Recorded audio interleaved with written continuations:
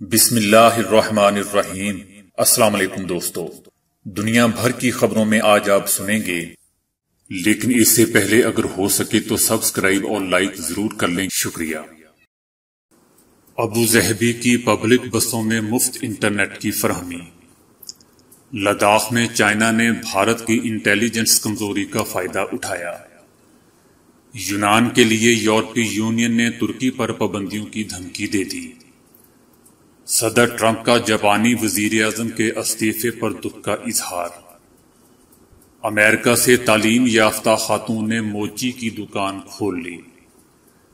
मुतहदा अरब अमारात में तलबा का हर दो हफ़्ते बाद कोरोना टेस्ट होगा।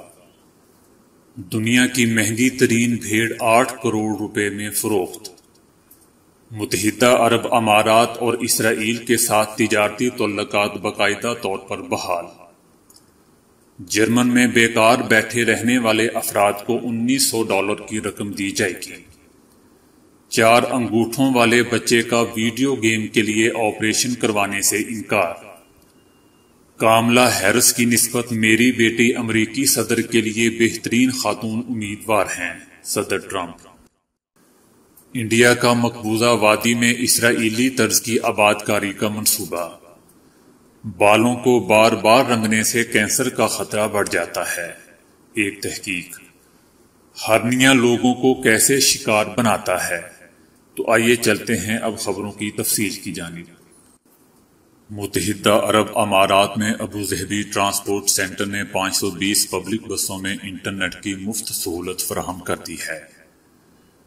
ट्रांसपोर्ट सेंटर ने बताया कि मुफ़्त इंटरनेट की सहूलत जदीद तरीन डिजिटल टेक्नोलॉजी से आरास्ता है। बसों के मुसाफिर सफ़र के दौरान इंटरनेट की आला सर्विस से मुस्तफ़ होंगे।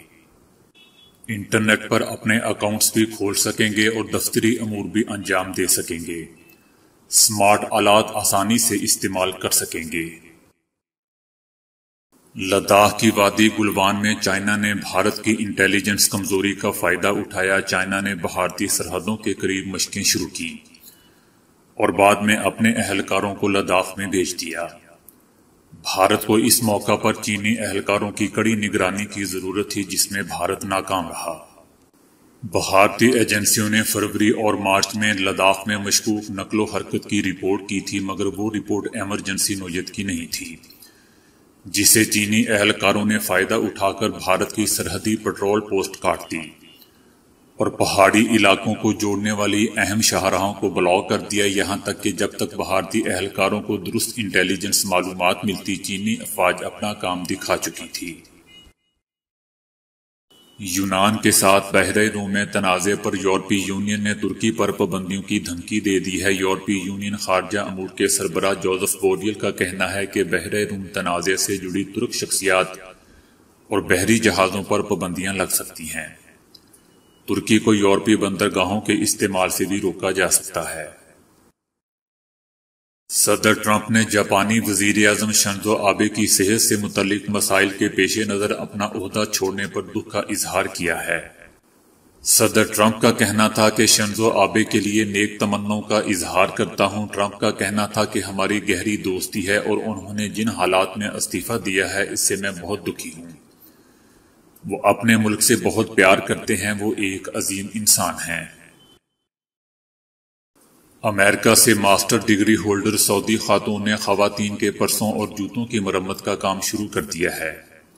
उन्होंने बताया कि अमेरिका में दौरान तालीम मुझे पता चला कि जूतों और आला दर्जे के पर्स में खराबी की मरम्मत अच्छे से हो जाती है। बाज खातन समझती हैं कि अब उनका पर्स इस्तेमाल के काबिल नहीं रहा और वो कीमती पर्स को कचरे के हवाले कर देती हैं। यही सोच ब्रांड जूतों के बारे में भी होती है। सऊदी अरब वापस आने के बाद मैंने ये काम शुरू कर दिया क्योंकि मेरे इल्म के मुताबिक मुझसे पहले कभी किसी ने ये काम नहीं किया था। उस खातून ने बैरून मुल्क तालीम हासिल करने वाले सऊदी तलबा व तालबात को मशवरा दिया है कि वो वहाँ सिर्फ़ डिग्री के हसूल में ना पढ़ें, बल्कि डिग्री के साथ नए तस्वुरात लेकर आए। कोई ना कोई ऐसा हुनर या कारोबार सीख कर आए जिसे वो अपने मुआशरे में शुरू कर सकें और इससे वतन अज़ीज़ को फ़ायदा हो। मुतहदा अरब अमारात अबू जहबी में वजारत तालीम ने स्कूलों के तलबा का कोरोना टेस्ट दो हफ़्ते में एक बार करने का फैसला किया है।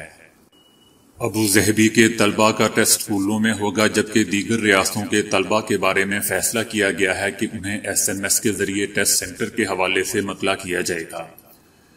एसएमएस उनके सरपरस्तों के नाम भेजे जाएँगे, पीसीआर हर दो हफ़्ते में एक बार ज़रूर होगा। बरतानिया के शहर ग्लासगो में एक मखसूस नस्ल की भेड़ की तीन लाख से जायद पाउंड में फरोख्त ने तमाम रिकॉर्ड तोड़ दिए। डबल डायमंड नामी भेड़ की नीलामी शुरू होते ही बोलियाँ लगना शुरू होगी और चंद मिनटों में एक कस्टमर ने तीन लाख सड़सठ हज़ार पाँच सौ पाउंड की ऑफ़र पर मखसूस नस्ल की भेड़ खरीद ली, जिसकी पाकिस्तानी रुपए में कीमत आठ करोड़ से ज़्यादा बनती है। जेफ एकन ने डबल डायमंड की खरीद पर इतनी भारी रकम अदा करके नया रिकॉर्ड कायम किया है, इससे कबल किसी भी भेड़ को इतनी ज़्यादा कीमत में नहीं खरीदा गया। डबल डायमंड का तोलक भेड़ों की टेक्सल नामी मखसूस नस्ल से है जो नैदरलैंड के करीब टेक्सल नामी जजीरे में पाई जाती है। इस नायाब नस्ल की भेड़ की बेहद मांग है और अमूमन हज़ारों में बिकती है, लेकिन डबल डायमंड के मंजरे आम पर आने से इसकी कीमत में यकदम इजाफा हुआ है। मुतहदा अरब अमारात ने यहूदी रियासत के साथ अमन माहदे के बाद इसराइल के तजारती बाइकआउट से मुतलिक मुल्की आइन की कानूनी शिक को मनसूख कर दिया है। इसराइल के तजारती बाइकआउट और खिलाफ वर्जी पर सजाओं से मुतलिक उन्नीस सौ बहत्तर के विफाकी कानून नंबर पंद्रह को खत्म करने का ऐलान किया है। अब मुतहदा अरब अमारात की कंपनियाँ और ताजिर इसराइल की कंपनियों और कारोबारी तबके से माहदे करने में आज़ाद होंगे। इस माहदे के नतीजे में इसराइली नजाद अमरीकी वफद तल अबीब से इकतीस अगस्त को पहली कमर्शियल एयरलाइन से अबू दहबी पहुंचेगा।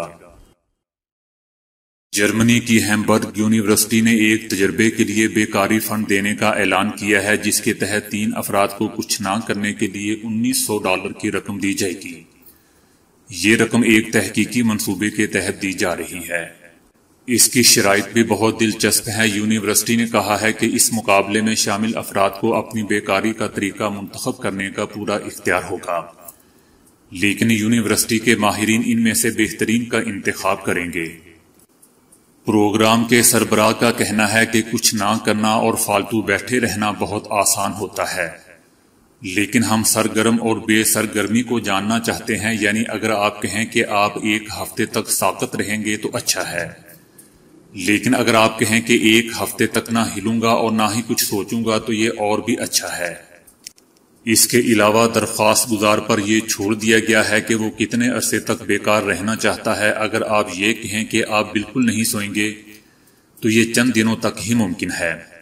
लेकिन अगर आप दावा करते हैं कि आप खरीदारी नहीं करेंगे तो इस काम का दुरानिया तवील हो सकता है। इसलिए हर फ़र्ज़ से बेकार रहने की तफसीलात एक मुसविदे की सूरत में मांगी गई हैं। यूनिवर्सिटी की शर्त है कि ये रकम आपको उस वक्त मिलेगी जब आप अपने तजर्बात की तफसीली रिपोर्ट जमा करवाएँगे। ख्वा आप कामयाब होते हैं या नाकाम आपको रकम ज़रूर मिलेगी।